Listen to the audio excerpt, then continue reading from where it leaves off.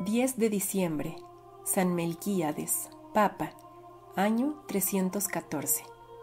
El pontificado de San Melquíades duró poco, pero desarrollaronse durante él importantísimos sucesos que cambiaron completamente la situación de la Iglesia. Tales fueron, por ejemplo, el triste fin de los últimos perseguidores y el triunfo y conversión de Constantino el Grande, que suministraron a la Iglesia una época de paz y de libertad bajo la protección del Estado, conocida con el nombre de paz constantiniana. Consérvanse pocos documentos relativos a la vida personal de Melquíades. Era africano. No se sabe qué grado ocupaba en la clerecía cuando se trasladó a Roma. No hay que olvidar que la destrucción sistemática de los archivos de la Iglesia, ordenada por Diocleciano en los tiempos de la persecución, privó a la historia de documentos preciosos. Se sabe, no obstante, por el catálogo liberiano, que Melquíades, después de una vacante más o menos larga, casi un par de años, de la Santa Sede, sucedió a San Eusebio el 2 de julio del 310 y murió el 10 de enero del 314. Su pontificado no duró, pues, más que tres años, seis meses y ocho días. Fin de las persecuciones. El imperio romano se hallaba a la sazón gobernado por cuatro emperadores, Constantino en las Galias, Magencio en Italia, Licinio en la Iliria, que comprendía toda la península de los Balcanes, y Maximino Daya en Oriente. Aunque oficialmente no se había publicado el decreto que ordenaba el cese de la persecución, había ésta decrecido mucho, principalmente en Occidente, y los cristianos empezaban ya a respirar tranquilos. Melquíades vio cómo iban desapareciendo trágicamente quienes en vida habían sido los más feroces enemigos de la fe. El principal responsable, Diocleciano, que había abdicado en el año 305 y se hallaba retirado en su fastuoso palacio de Salone, no pudiendo soportar por más tiempo los males que le aquejaban, ni el aburrimiento propio de la soledad en que vivía, se dejó morir de hambre en el 313, después de haber escupido a pedazos la lengua que como castigo del cielo se le fuera pudriendo en la boca. Maximiano Hércules, dimisionario también, pero que, con el afán de adquirir de nuevo el poder, no cesaba de intrigar contra Constantino, su yerno, y contra Magencio, su hijo, urdió una conjuración en la que trató de comprometer a la emperatriz Fausta, su hija, para destronar a Constantino y ocupar su lugar. Las maquinaciones del viejo intrigante fueron descubiertas y esta vez no obtuvo perdón del emperador. Maximiano fue condenado a darse la muerte a sí mismo. Por un especial favor se le dejó escoger el modo y manera. Prefirió la horca en cuyo suplicio expiró en los albores del año 310. El monstruo Galerio tuvo aún más desdichado fin. Herido en 310 por una enfermedad horrible, vio cómo iban cayendo sus carnes roídas por los gusanos. Causa, en verdad, horrible estremecimiento la lectura de las repugnantes descripciones que de ello nos hacen los historiadores. Este feroz perseguidor consultó a los médicos más famosos, pero sin resultado positivo, y estos pagaron con su vida el fracaso de sus remedios. Recurrió a los oráculos de Apolo y de Esculapio, pero en vano. Atemorizado por el recuerdo de sus crueldades para con los cristianos, quiso apaciguar la cólera de Dios, que así le hería con el rayo de su poder, y publicó un edicto de tolerancia que mandó fijar por las calles de Nicomedia el 30 de abril del año 311. Pero esta enmienda, tardía y llena de orgullo y de reticencia, había sido inspirada más por el temor que por el verdadero dolor. Galerio murió algunos días después, el 5 de mayo del mismo año 311. Dejó el trono a Licinio, a quien había hecho Augusto en 307. Hipocresía de Maximino Daya. El edicto de tolerancia publicado por Galerio en nombre de los emperadores no llevaba la firma de Maximino Daya o Daza, tal vez porque éste se negó a refrendarlo. San Jerónimo llama a este emperador el más cruel de los perseguidores. La opinión pública obligóle, no obstante, a seguir la corriente general y acabó por enviar a los gobernadores de sus provincias instrucciones análogas a las del edicto, aunque muy ambiguas y llenas de despecho. Como todos, cristianos y paganos anhelaban la paz, dichas instrucciones fueron recibidas y observadas con júbilo. Por doquier se abrieron las cárceles y fueron desalojadas las mazmorras. Las comunidades cristianas acogían en triunfo a los confesores de la fe que por largo tiempo habían gemido soportando el peso de las cadenas llevadas por amor a Cristo. Los apóstatas, los caídos, como se los llamaba, acudían también avergonzados de su cobardía a los pies de los mártires, rogándoles que intercedieran por ellos. Los mismos paganos admiraban y felicitaban a los fieles, y muchos de ellos exclamaban El Dios de los cristianos es el único, grande y el único verdadero Dios. Mas a pesar de todo, Maximino Daya encendía sórdidamente la persecución por medios ilegales y desacostumbrados favorecía y organizaba acusaciones contra los cristianos, procuraba reavivar el odio que había sido causa de las anteriores persecuciones contra ellos y les prohibía cualquier clase de reuniones sobre pretexto de orden público. Alcanzaron entonces la palma del martirio algunos cristianos y otros muchos sufrieron atroces mutilaciones por la causa de su religión. Por fortuna, fue de corta duración este recrudecimiento. En 312, Daya concentró su odio contra el reino de Armenia, que fuera convertido al cristianismo por San Gregorio el Alumbrador. La derrota de Maximino fue completa. La cruz triunfaba dominadora en las laderas del Ararat. Era la hora en que este mismo lábaro sagrado se aparecía en Occidente a Constantino, aureolado con el in hoc signo vinces. Con esta señal vencerás. Tras nuevas luchas intestinas de los dos emperadores de Oriente, Maximino Daya fue vencido por Licinio cerca de Andrinópolis y huyó a Tarso en Cilicia, donde se envenenó después de un hartazgo. Murió a los pocos días en medio de atroces dolores, en el año 313.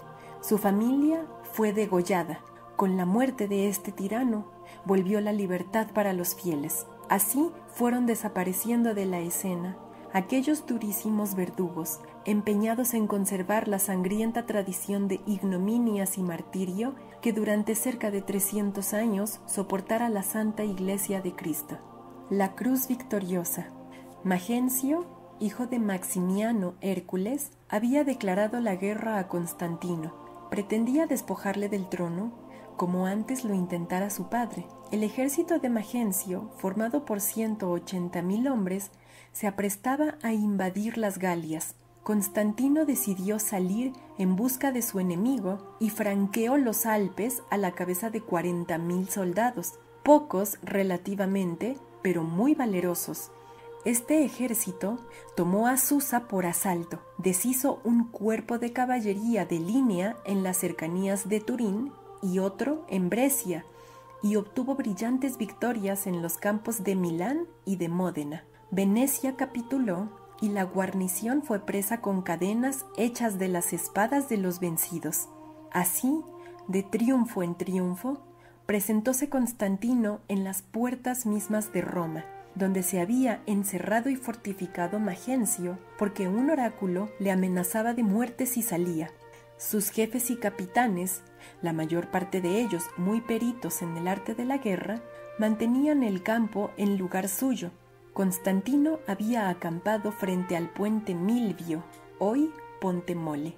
Constantino, aunque pagano como su padre Constancio Cloro, había aprendido a respetar al Dios de los cristianos, aún desconocido para su corazón, y a admirar el valor y la lealtad de los discípulos de Cristo, los vasallos más disciplinados y virtuosos que tenía.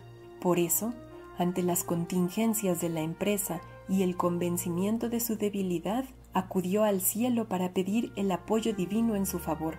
Cierto día en que adelantaba al frente de un cuerpo de tropas, en las primeras horas del atardecer, apareció en medio de los aires, por encima del sol que le servía como de escabel, una cruz brillantísima en torno a la cual se leían en caracteres de fuego estas palabras latinas, in hoc signo vinces. El ejército entero fue testigo del prodigio, el cual conmovió profundamente a Constantino. A la noche siguiente, apareciósele nuestro Señor Jesucristo, teniendo otra cruz igual en la mano, a modo de estandarte. Él mismo le explicó el significado de aquella visión y mandóle que hiciera una enseña militar conforme a lo que veía para conducir sus tropas al combate. Eusebio, obispo de Cesarea, oyó estos relatos de labios del mismo Constantino, y él es quien nos lo refiere, añadiendo, si otro cualquiera que no fuera el emperador me lo hubiese contado, lo habría creído difícilmente, pero siendo él mismo el testigo, ¿quién podría ponerlo en duda? El estandarte o lábaro pedido por el mismo Jesucristo fue preparado sin demora. Según la descripción de Eusebio, consistía en una pica larga de palo dorado que tenía en la parte superior un travesaño en forma de cruz. De los brazos pendía un tejido de oro y pedrerías.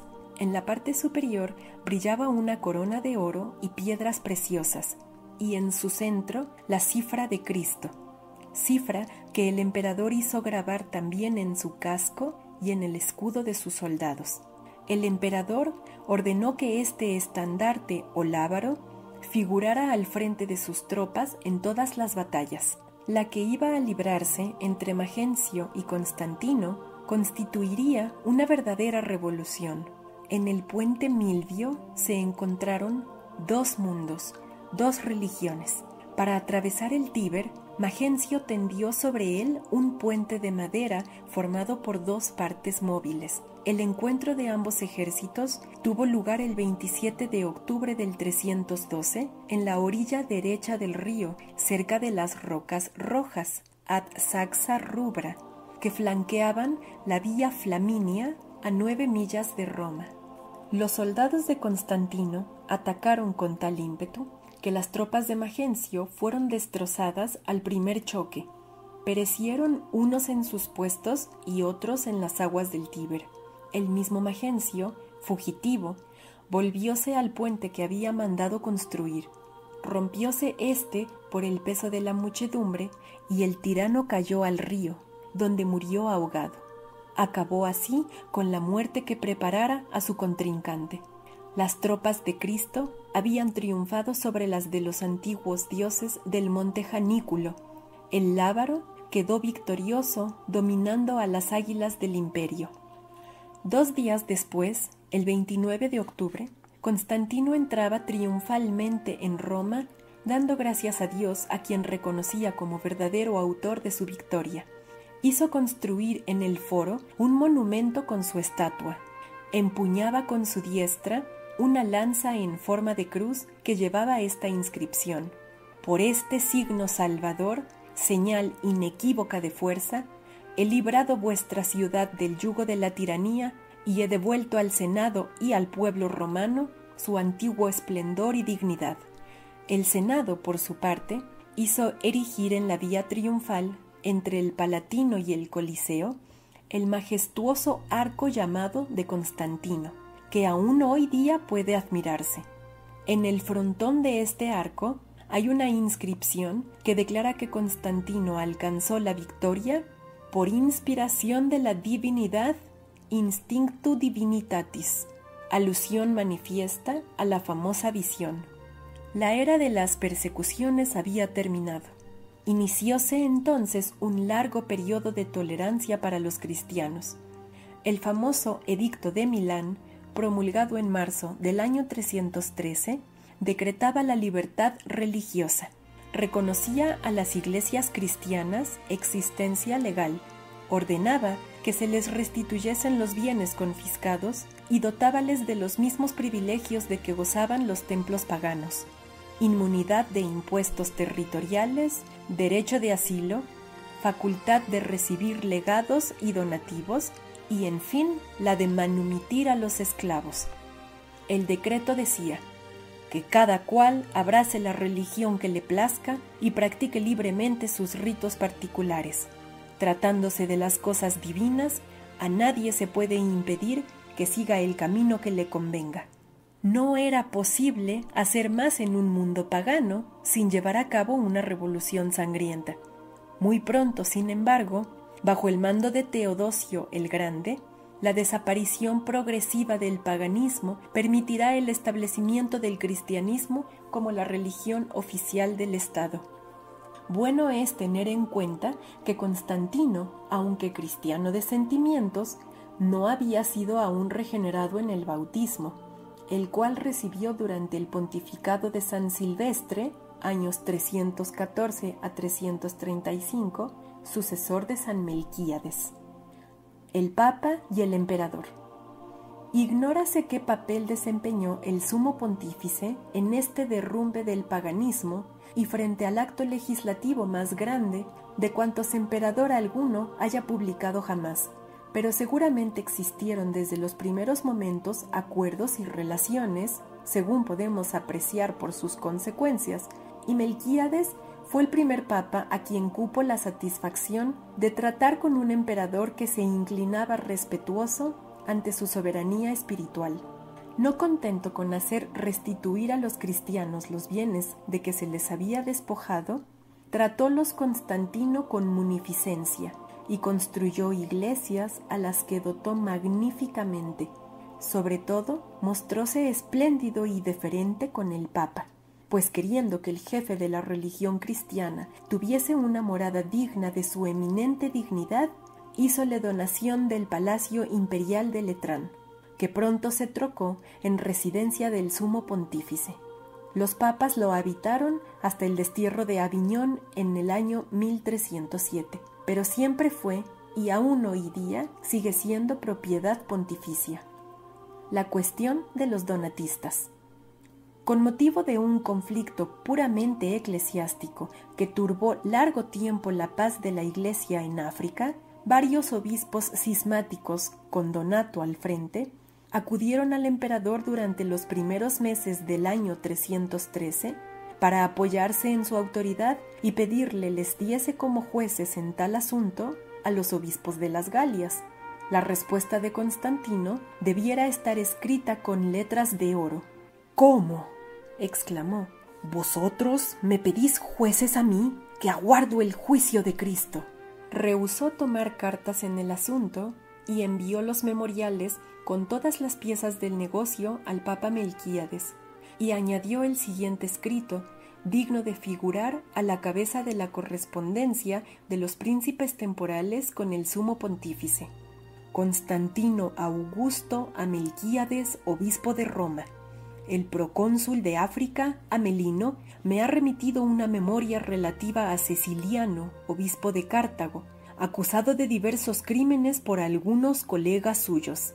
Creo que nada hay tan desastroso como estos cismas entre diversas iglesias en una provincia que yo quisiera ver próspera y pacífica. Estimo conveniente enviar a Ceciliano ante vuestro tribunal. Juntamente se os presentarán diez obispos partidarios suyos y otros diez de sus acusadores, y así vos podréis pronunciar la sentencia definitiva. Para mejor informaros del asunto, os envío el pliego recibido de Amelino Estudiándolo, será fácil a vuestra santidad formar juicio sobre el punto que es origen de la controversia. Ya conocéis mi adhesión respetuosa a la Iglesia Católica. Quisiera que desapareciesen de su seno todos los gérmenes de divisiones y de luchas. Que Dios omnipotente os conceda muchos años de vida. Animado el Papa por la noble y correcta actitud del emperador, abrió en el Palacio de Letrán, el 2 de octubre del 313, un concilio compuesto de obispos de ambas tendencias para dirimir tan grave asunto. Aclarada la cuestión, Melquíades, a fin de no alterar la paz del pueblo, condenó solo a Donato, perdonó a los demás obispos de su partido y ordenó que doquiera se encontrasen dos obispos a consecuencia del cisma, fuera mantenido en la sede episcopal el más antiguo en ordenación y se diera al otro el primer obispado vacante. Por desgracia, los jefes más notables del partido, y principalmente Donato, no quisieron someterse a sentencia tan benigna y tan prudente y buscaron ocasiones para fomentar nuevos disturbios.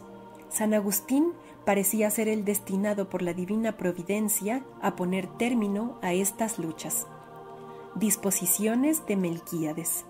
El libro de los pontífices menciona dos decretos dados a la Iglesia por este sumo pontífice. Uno se refiere a los ayunos. Prohíbe imponer ayunos el domingo y el jueves.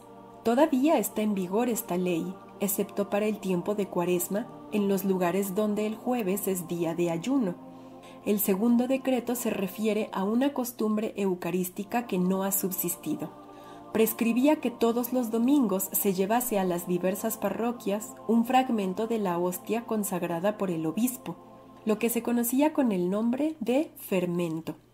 En un principio solo celebraba la misa el obispo y los demás sacerdotes estaban presentes en el altar ayudando al prelado costumbre que subsiste en los ritos orientales, pero no en el latino.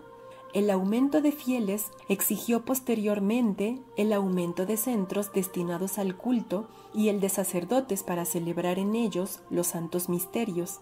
Sin embargo, a fin de hacer ostensible la unidad de la Iglesia y del sacrificio, el obispo enviaba a todos los sacerdotes una fracción de la hostia por él consagrada y que los sacerdotes juntaban a la que ellos consagraban. Era como un lazo espiritual que unía a los sacerdotes con el obispo respectivo. Era un signo de comunión. El nombre que se daba al envío no significaba precisamente pan fermentado, sino la levadura que une y levanta toda la masa, hecho que opera espiritualmente en la Iglesia la Santísima Eucaristía. Muerte del Santo Pontífice.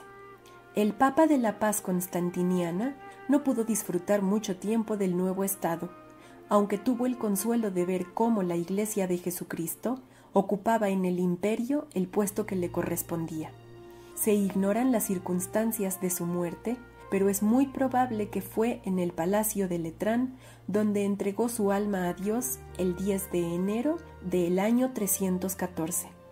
El breviario que fija su fiesta el 10 de diciembre, le da el título de mártir, tal vez a causa de lo que tuvo que sufrir en la persecución de Diocleciano. Es el último sumo pontífice enterrado en el cementerio de San Calixto, no precisamente en la Cámara de los Papas, sino en una cripta particular. Aún existen en la bóveda unas pinturas muy visibles y junto a ellas la tapa que cubría un sarcófago tapa que tenía esculpidas en los cuatro ángulos sendas imágenes del buen pastor. A lo largo de la pared de esta cripta corre un banco de mampostería que en otro tiempo estuvo revestido de mármol y adosado al muro, señal segura de que anteriormente se habían tenido en esta cripta reuniones litúrgicas. El Papa San Paulo I, en el siglo VIII, hizo transportar el santo cuerpo a la iglesia de San Silvestre Incápite de Roma, donde se conserva hoy.